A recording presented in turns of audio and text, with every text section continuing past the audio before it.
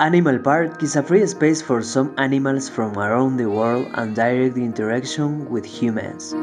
Birds that cannot fly but very fast from South America and foreign like the ostrich. Pheasants. The elegance and spirituality of the swan. Cows and calves accompany our tour.